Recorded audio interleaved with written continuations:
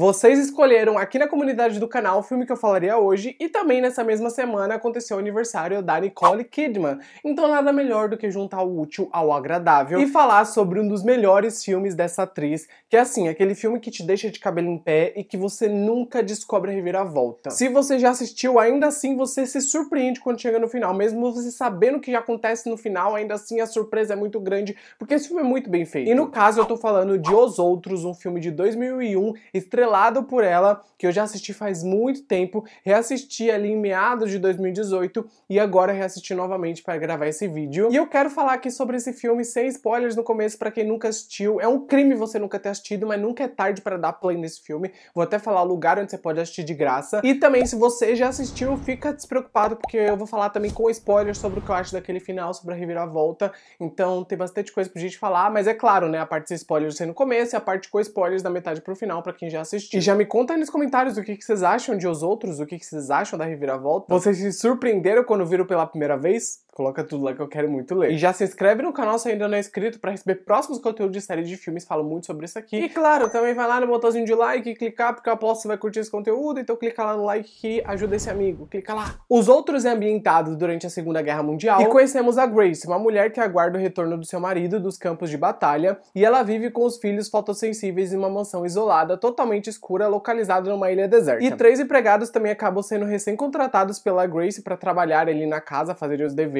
Só que assim, depois que esses empregados chegam na casa, coisas estranhas começam a acontecer e ela e os filhos começam a ficar meio paranoicos. E quanto mais loucos eles ficam, mais a gente se pergunta o que tá rolando. Será que a casa é mal assombrada? Será que não? Se tá sendo mal assombrada, por que estão assombrando a casa? Todas essas perguntas que vão se amontoando durante o filme te deixa ali fixado na trama. Você não quer desprender do filme em momento algum. Sendo que a atmosfera de suspense também te deixa com o coração na mão, porque tem umas cenas ali tão bem dirigidas que você fica, meu Deus, meu Deus, aconteceu alguma coisa. E será que vai acontecer? E por falar no diretor desse filme, ele conseguiu fazer ali com que o suspense e a tensão do filme fossem tão bem nivelados com o drama, que a cada nova cena eu sentia cada vez mais ansiedade para descobrir o que estava rolando. E eu também me simpatizei muito com os personagens, então também queria que eles tivessem o final feliz. Mas é claro que por esse ser um filme de terror, ele precisa ter sustos, ele precisa ter uma atmosfera legal. E aqui é interessante que os sustos não são baratos. Então a gente vê que é um suspense inteligente que sabe fazer a gente criar teorias, mas no final das contas entrega algo legal e algo que sai fora da previsibilidade. Isso porque eu nem mencionei que a atmosfera do filme no geral consegue ter ali cenários bem sombrios, aquela casa cheia de portas também é algo que acrescenta muito no filme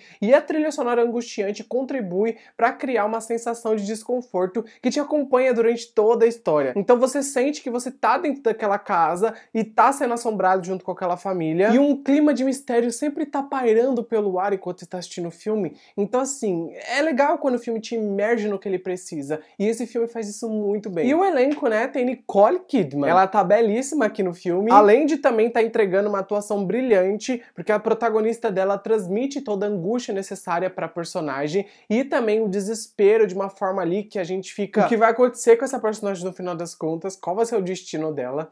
É, um reloginho muito gostoso de você acompanhar, sabe? Sem falar que as crianças são assustadoramente talentosas. Eles conseguem também é, transmitir o medo necessário para que a gente entenda que eles são crianças e eles estão apavorados de estarem naquela casa. E as coisas estranhas que estão acontecendo deixam eles ainda mais com medo. Então, se você é fã de terror e suspense, você precisa dar uma chance aos outros. A história te envolve, o clima de suspense é de arrepiar e a reviravolta final, ah, meu amigo, a reviravolta final é a cereja desse bolo. Acredita em mim, você não vai se arrepender se você assistir esse filme. Tá disponível aqui no YouTube de graça, só digitar aí na barra de pesquisa os outros completos. Ou se você tiver MGM Plus, tá disponível lá também, mas aqui no YouTube tá de graça, só digitar aí os outros, tá em 1080, tá ótima qualidade, é isso. Eu não assisti no YouTube porque eu tenho o DVD aqui em casa, então assistindo aquela qualidadezinha horrível, sabe, do DVD, mas eu amo essa qualidade, gente, é maravilhosa. Ai, saudade de comprar DVD.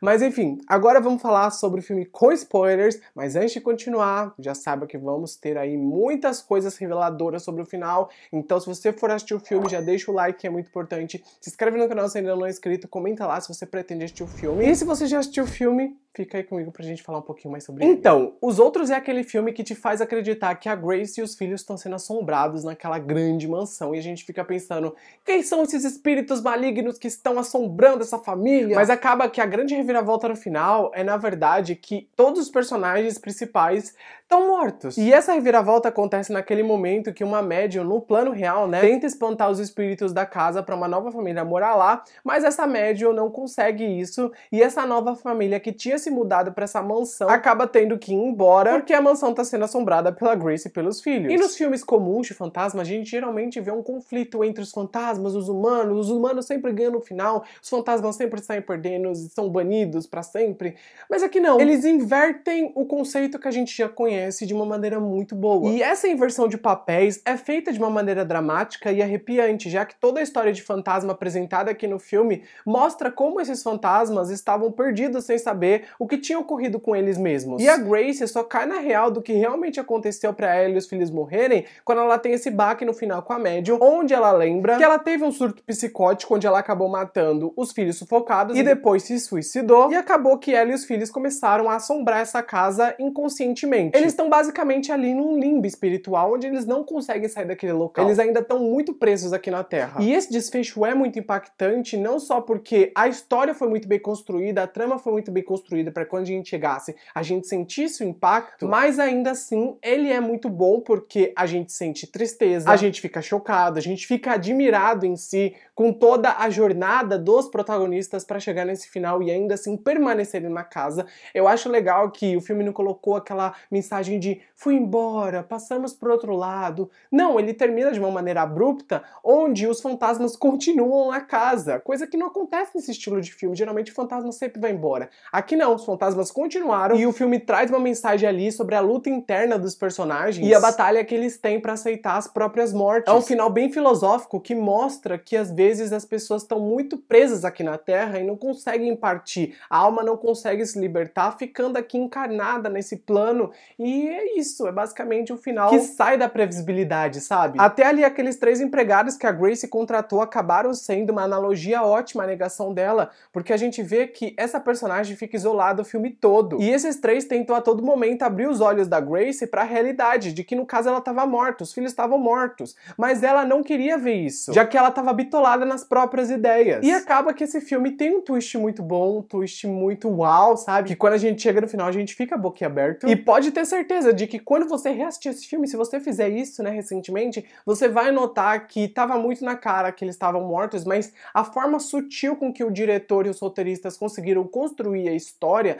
fez com que as pistas sobre eles serem os fantasmas ficassem aparecendo de uma maneira muito mais leve e não de uma maneira agressiva, sabe? Com que ficasse, nossa, olhem aqui para esse ponto, porque esse ponto já revela o twist. Não. Ah, e aliás, a médium que aparece no final me lembrou um pouquinho da Elise de Sobrenatural, sabe? Da franquia Sobrenatural. Ela tenta ali entrar no mundo dos espíritos, na dimensão dos espíritos, no além, pra tentar desconectar os espíritos com o mundo real. É, sei lá, me lembrei um pouquinho disso. Aliás, Domingos de Terror da próxima semana será o especial sobre Sobrenatural. Teremos dois vídeos falando sobre os dois primeiros filmes e falando sobre os dois últimos filmes, para vocês se prepararem aí pro quinto filme que logo mais tá chegando. E quem me seguir lá no Instagram vai ter uma surpresinha, quem for de São Paulo principalmente, então segue lá no Instagram. E se você gostou de Os Outros, eu recomendo que você assista O Segredo de Mary's Bond, que eu tenho um vídeo aqui no canal. É um filme também que vai te surpreender com a reviravolta.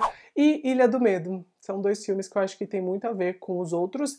E se vocês quiserem, eu até posso fazer um vídeo sobre é, filmes que tem pessoas que morrem e que a alma não conseguiu sair da Terra porque ainda estava presa aqui e que a pessoa também não sabia que acabou morrendo. Sei lá, algum vídeo nessa vibe. Eu acho que seria interessante. Uma coisa bem Lost, sabe? Mas eu tenho alguns filmes que apareceram agora na minha cabeça quando eu falei desse tema que eu acho que é legal para um vídeo. Enfim, esse foi o vídeo de hoje. Gostaram? Comenta aí embaixo. Se gostam desse filme também, comenta aí embaixo. O que acham da revelação final? Comenta. Clica no like que é muito importante. Se inscreve no canal do botão vermelho. Beijo para todos. Até o próximo vídeo. E tchau.